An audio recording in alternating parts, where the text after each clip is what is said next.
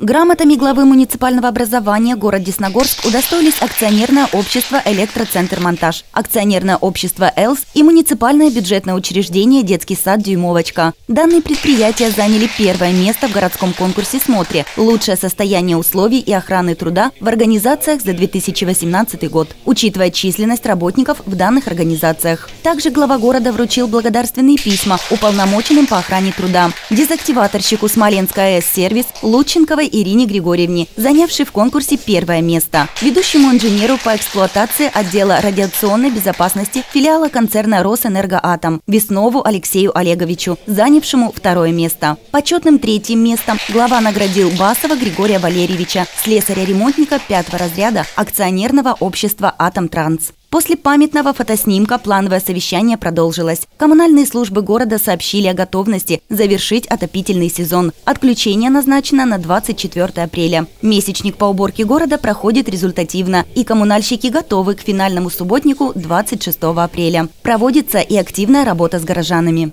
Заканчивается у нас проведение общего собрания собственников в доме номер 15 второго микрорайона.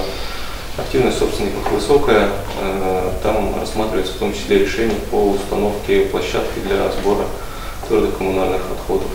26 апреля на площади администрации Десногорска в 10 часов утра состоится мероприятие, посвященное Дню памяти погибших в радиационных авариях и катастрофах. Приглашаются все неравнодушные.